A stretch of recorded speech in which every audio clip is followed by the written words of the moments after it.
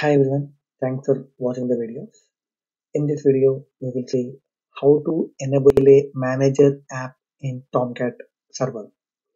Okay, so first I have started the Tomcat server. So the Tomcat is up and running now. So when you click on manager app, so it's asking for the username password.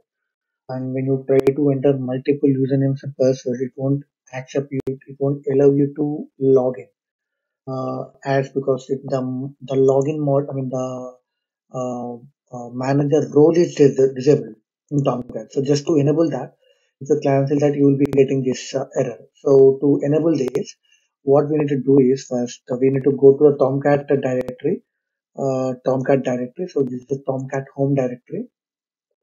In this Tomcat home directory, you will be having the folder called config. If you open the config folder, you will be having the Tomcat users.xml. So you have a user.xml, right? So if you go to the user.xml, uh, open this user.xml, then uh, user.xml. In this user.xml, just to enable the user login, you need to enable this line. You need to enable this line. So here if you see that I am uh, enabling the user with role manager GUI. So use uh, so I'm giving the password test three four. So by default it will be a must be changed. So I have changed the password to test three four. Okay. So after making the changes, after making the changes, just uh, stop your server. So I have downloaded the Tomcat from the Google and I've unzipped it. Uh, I have unzipped it and uh, now uh, and uh, I changing this value. So if you're installing the Tomcat, if you're using Tomcat of uh, XAMPP, uh, which is downloaded from the XAMPP by default, then we'll show you how to do that. Okay. So currently we're doing it uh, the Tomcat, which is downloaded as a zip file from the uh, uh, uh, Google. Okay, so let's start in the server again.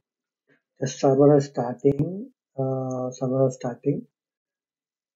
Yeah. Okay. Uh, it's loading the folders, root for root uh, project and uh, this uh, manager. Now the server is completely up. Let's refresh the page now.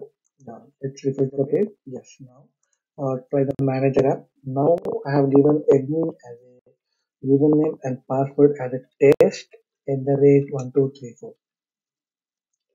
So click on sign in. Now we got the uh, manager page. So from here, uh, you, you can uh, uh, choose a file, WAR file, and you can deploy the uh, you can deploy the uh, uh, project using WAR file, and you can give the directory that part of your WAR, and you can deploy, click deploy, or you can upload and you can deploy the file.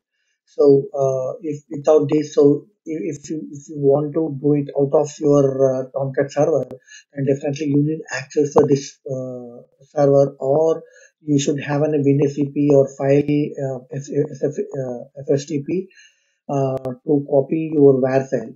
And just to restart your service, uh, definitely you need a machine access to restart and stop and start the services.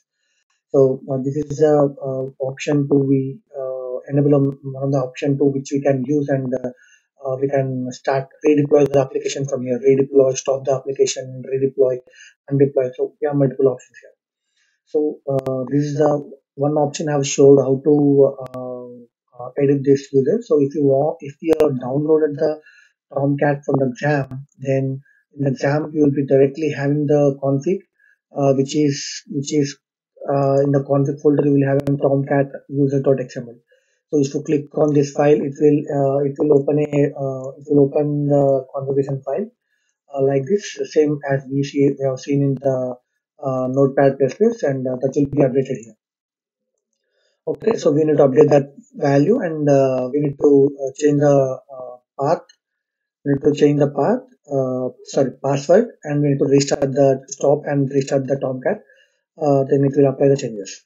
So even every change every change what you do in the configurations or the heap memories or uh, any any configuration we should not forget to restart the Tomcat server. So unless until you won't restart the server, it won't take effect.